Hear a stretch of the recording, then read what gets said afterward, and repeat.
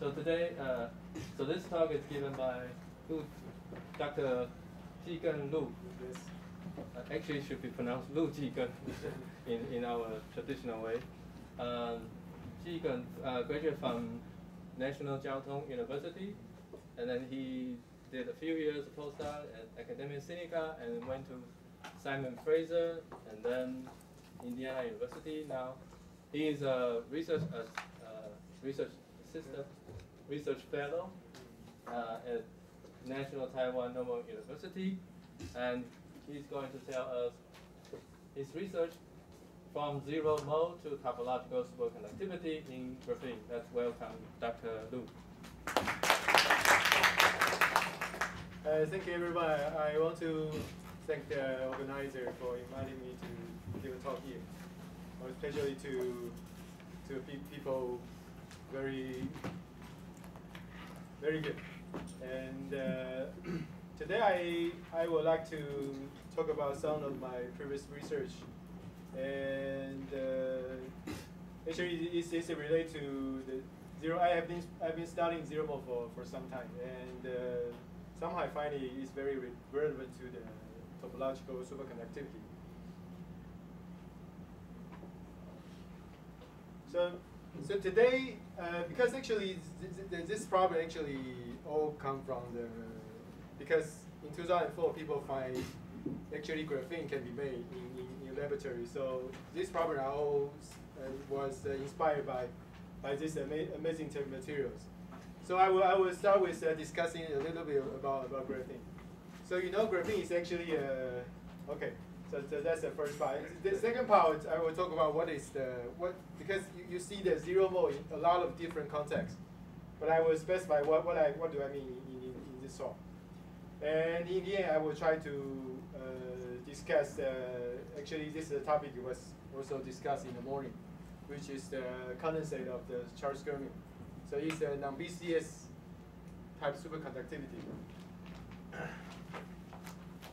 So actually, graphene is an amazing material because uh, you know for electronic applications, uh, electron has the highest mobility in this material. It's about 1,000 times better than than silicon. Uh, so so you can see a lot of form, different form from one one uh, single layer graphene to two layer, and uh, you can also have uh, carbon nanotube and uh, buckyball. So why, but, but to physicists, why why graphene is also interesting is, is actually because the, the, the lattice structure is very simple. It's a honeycomb lattice. And if you just consider uh, simplest tight binding model, you can see actually the spectrum is actually uh, is very very very special. So near a few points, so-called the Dirac point, the spectrum is linear and uh, there's no gap. So this is so-called a semi-metal. And the band span conduction band touch at a point. So even though it's a two-dimensional system, but the Fermi surface are a set of points.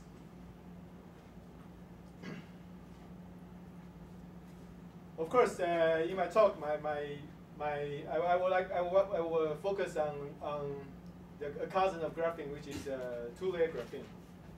So in two-layer graphene, if you only consider the most important vertical hopping, which is the the vertical, I mean, the vertical gamma one here, the spectrum is actually very similar to single layer graphene, except that originally here is a linear band touching, but here is a quadratic band touching.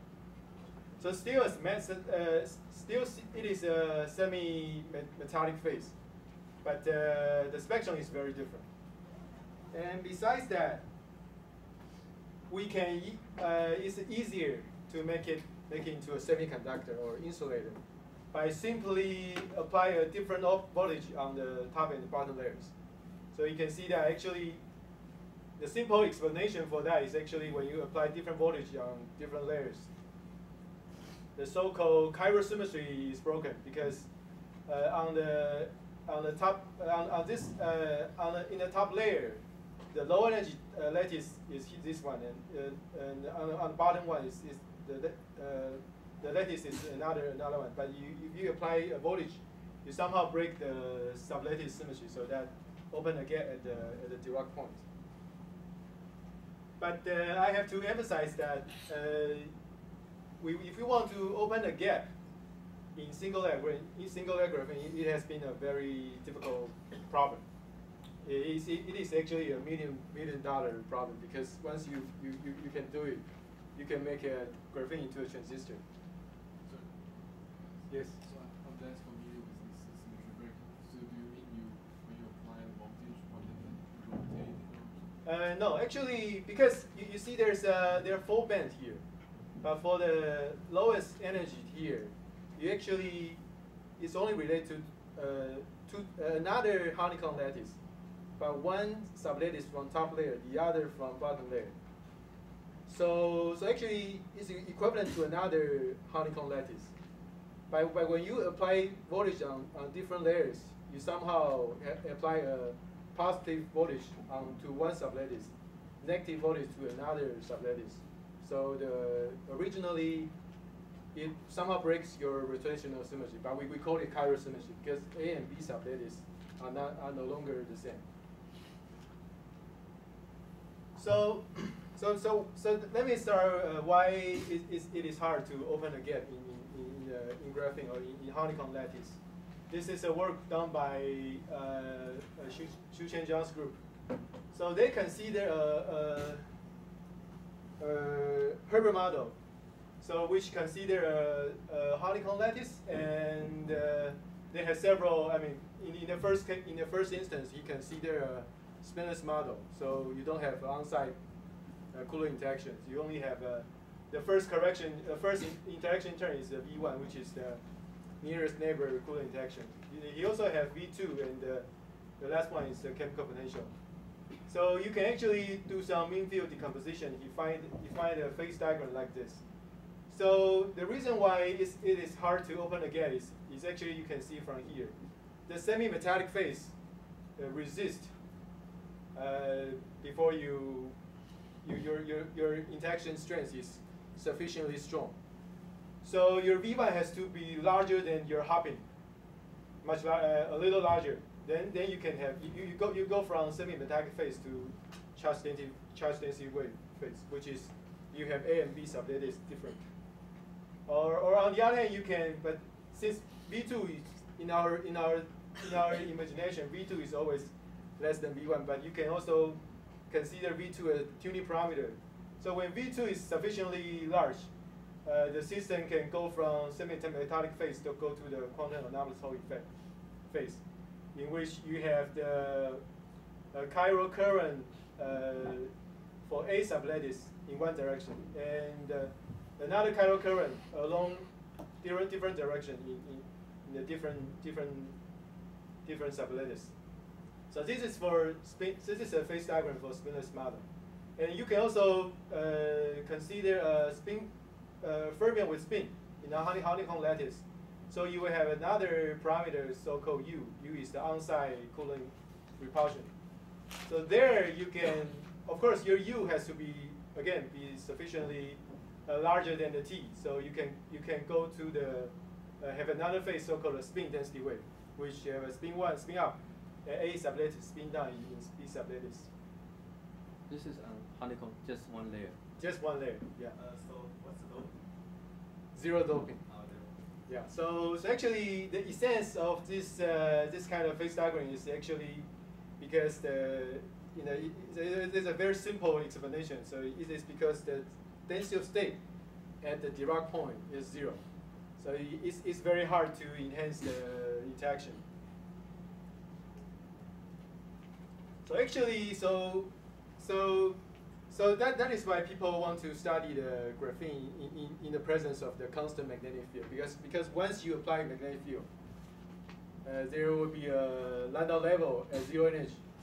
So there you have a very large uh, density of state. So you, you can it's easier to open a gap.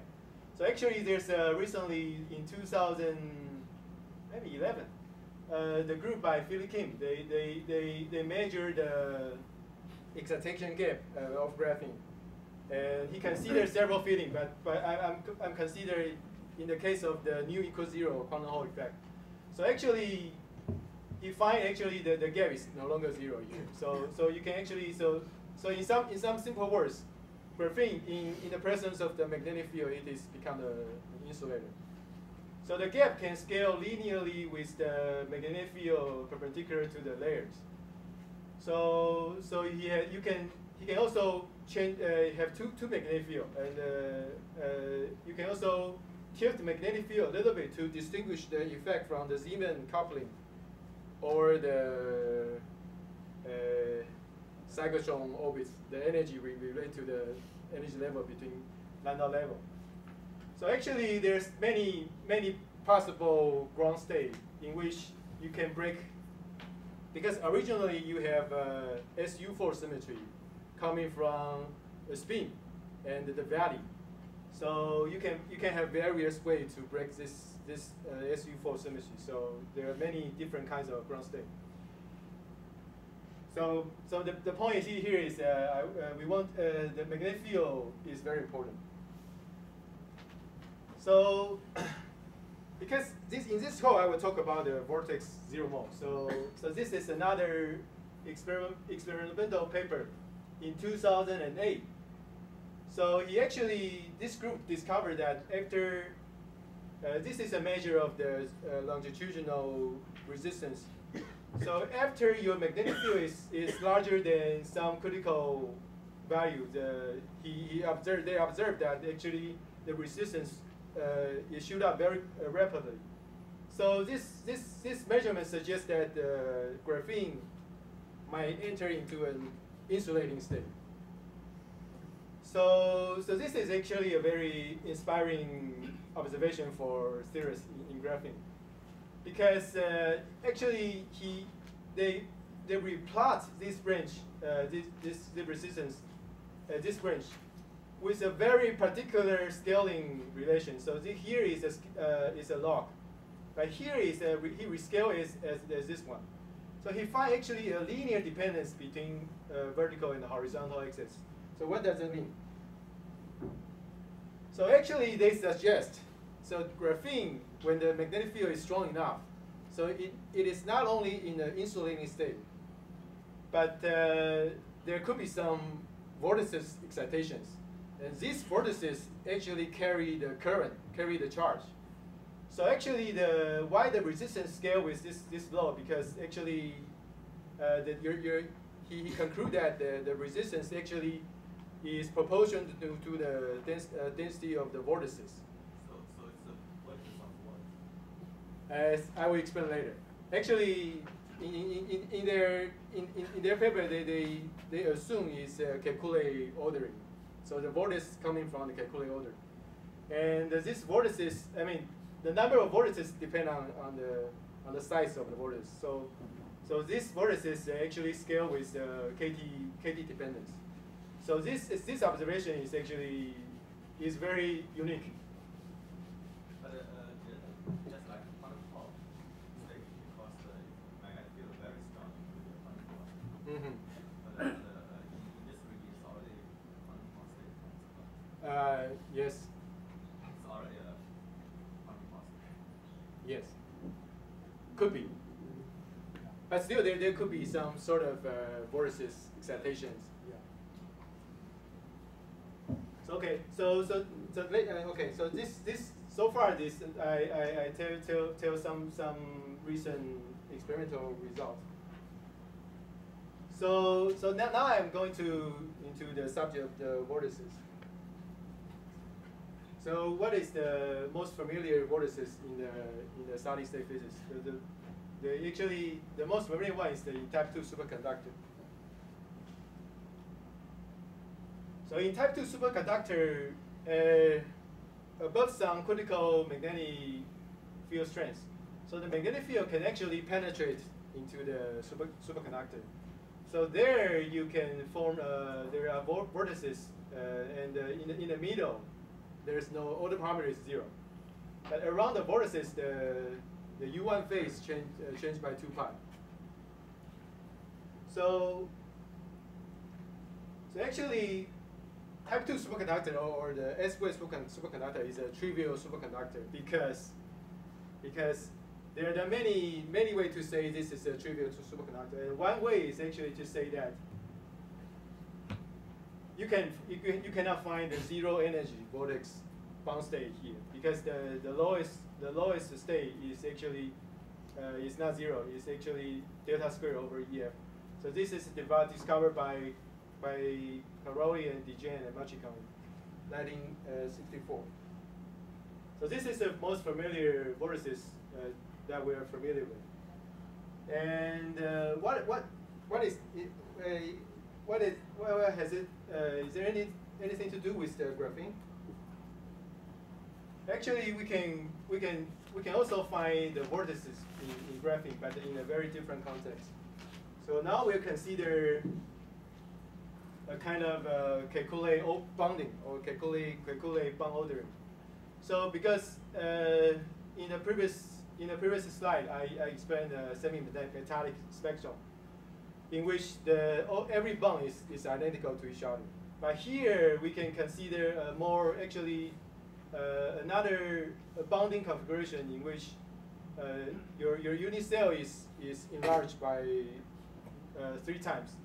So you see a double bond, single bond, double bond, single bond configuration in this kind of so-called Kekulé bonding. But this there's, but interestingly, uh, this this bond ordering can give rise to a mass gap to the to the graphene. So so actually, this this new ordering can is a, uh, equivalent to another, I mean equivalent to a, a, a scattering which which connect to the two different uh, Dirac point in graphene. So in fact, actually there are, we can, you can, you can draw on, on yourself. There are actually three different kinds of uh, Kekulé ordering. So there are these three choices you can, you can, you can, you can draw. So, so therefore, you can actually uh, find out a way to introduce the vortex, because actually you can you can you can in the, this in this in these three different regions you can you, you can plot uh, each one into one of the region. So actually, in the in the in the middle, there will be no no such calculated. But when you go around the vortices, you you can see the uh, bound, uh, bound pattern from one to one to the other. So actually, actually, we can consider this as another vortices in in graphene. So before I, I start, uh, I want to uh, describe a little bit uh, the fact about the anti-commuting matrices. Uh, so what is the anti-commuting matrices? Uh, it's a square matrices that uh, satisfy the anti-commutation relation AB plus BA is zero. So the most familiar one is the two by two matrices. So we, we actually have three, which is uh, sigma x, sigma y, sigma z. All the all two of them satisfy the, the relation. What about the the next the next simplest one is a four by four matrix. We, we, we can have five. Or we can call them the Dirac matrices. So actually we can do the construction uh, which is sigma x times sigma x, y, z. So there are three of them here. And the sigma y times I2 and sigma z times I2. So there are five gamma matrices here. And we can do the similar construction to A by A matrices. And in the end, we find that there are seven, seven such elements. So by similar construction, we can uh, use uh, sigma x times the five gamma matrix here, and the sigma y times uh, four by four identity, and the sigma z times four by four by identity. So why this is relevant to to the to the to the uh, vortices and zero mode? Okay. Uh, so uh, okay, so so because because in in in the, those anti-commuting matrices represent the the mass gap. So actually, we can uh, construct a very general uh, massive Dirac fermion in in graphene, several layer graphene. So so this is the most general most general uh, mean field Hamiltonian. So the kinetic energy then kinetic energy term is, is, is, is written here. So it's a it's a by A matrices. So this these two components are, are for the for the sublattice part. So n is actually for different layers. So when n is one, this is just a momentum, linear momentum, and the pi and pi here is, is, is to represent the fact we already consider the magnetic field. So so he, this is the uh, covariant momentum. And because in if we consider graphene, so graphene has uh, uh, several degree of freedom. Uh, it has spin, spin degree of freedom and valley degree of freedom. So in general, we can use the A by A matrices to describe the, the fermions in, in such context. So actually, except two matrices that are mutually anti-commute, we can have another five matrices. Uh, I call three of them uh, n and two of them m. So there are totally uh, seven matrices here. So we can play some game about around these matrices. We can place, uh, we can we can insert a vortex into uh, two of them. And that that's the first story here. so we studied uh, first study. Uh, we explain it later. So actually, uh, so if, if we have the vortexes in, in, in two, two, two of the order parameter here, so actually there you, you will find a zero mode here. So actually, if we just just like uh, previously, uh, we can consider just just uh, a vortex. So so we don't we don't need to two two mass matches. So here, the the way I insert the uh, vortices is actually I, I let the mass depend on the on the angle on the on the visual angle. So the first two terms are just the momentum, uh, which is which you need in uh, in graphene. So and uh, actually, so this is an early paper by Jackiw and Rossi. He, he, he said that there will be one zero mode uh, in, in this Hamiltonian. So there's one zero zero energy solution. So actually, there are people there are people that verify that use this uh, use the latest version of this this uh, Hamiltonian to verify. Actually, there there's indeed one zero mode. So another interesting property is actually because uh, actually in this case, the gamma matrices are four dimensional. So the one, two, three, five are the four four by four gamma matrices. And actually, there's another. Uh, if you remember previously, there's a fifth, the fifth uh, element, the fifth, the, the fifth gamma matrices, which anti-commute each one of them. So this we call it gamma naught. So actually this is a product of the previous four. So actually this zero mode is the is the eigenstate of this gamma gamma naught. Because actually uh, this gamma naught anti-commute with this this this Hamiltonian. So this this zero mode is actually because it, it just the, the energy is exactly zero. So even though the this operator anti-commute with the Hamiltonian, but the, this state is the only state that eigen that is eigenstate of this so-called the chiral operator. So, so, so, so far we have established that, okay, if this is a Kekule ordering and uh, there's a vortex here, so in the middle of the core, there will be a zero energy state. And this zero energy state will be eigenstate of the gamma naught.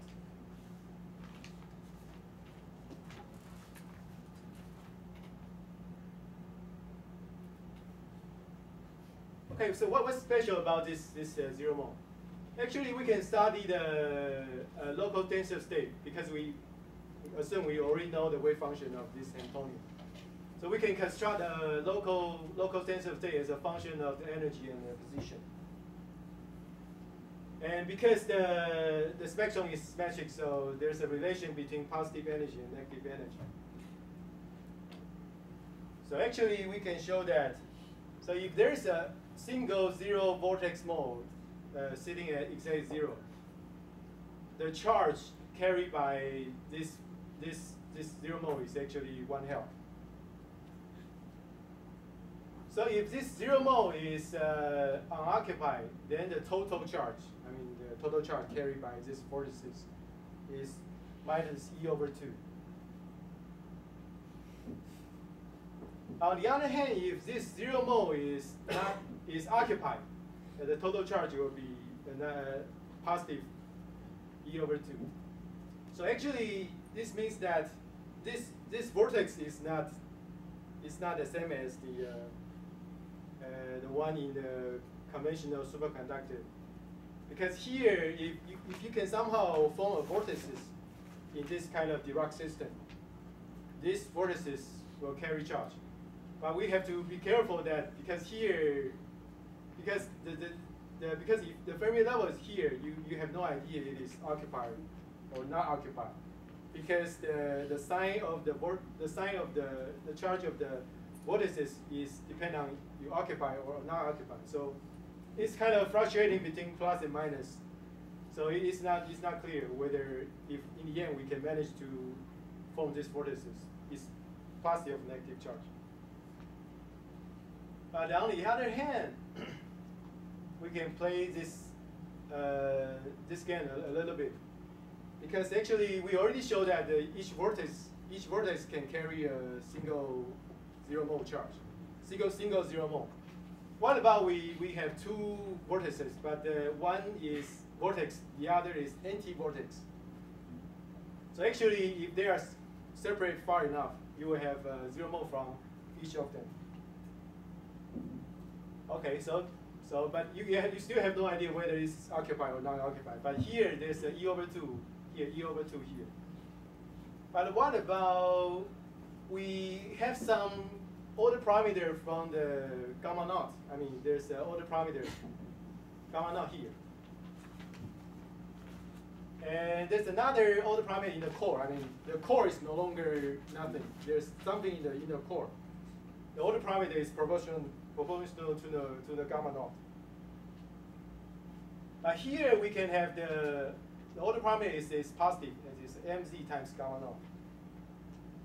And here is minus mz times, gamma, gamma. So what happens is actually this zero mode can in principle be shown that it will be below, previously exactly at the uh, chemical potential. But here is lower than chemical potential. And the other one from this one is also lower. So now we no longer have the ambiguity. It's, it's very certain that uh, each of them are occupied. So actually, so the total charge of this texture is one, one half plus one half, which is one. So, but on the other hand, what is this texture? Actually, it's a two merons. So here is we have a one meron, which is a vortex. But in the middle is uh, uh, your spin or order parameter is point to you. But on the other hand, this vortex is anti-vortex, anti-vortex. And the order parameter in, in the core is uh, pointing in the, in the black hole. So actually the total Pontryagin index is, is 1. So somehow we show that the charge of this texture is the same as the topological charge. So this is the conclusion so far. And so far, everything is good. Sorry, I didn't get uh, how the energy lower. Why the energy? Oh, okay. Because actually, without the without the order parameter in the core, it, energy is sitting at zero. But actually, this this uh, this eigen this this uh, the wave function the, the state here the zero mode here is actually eigenstate of this operator. So you, it, so even though this is operated by to to to this one, it's just a scatter. So, so, so, and they, they have different chirality. So you need the, you need to, here is the positive gamma naught, and here is negative to both lower than. Both low. So, so this is why the a skyrmion will be charged.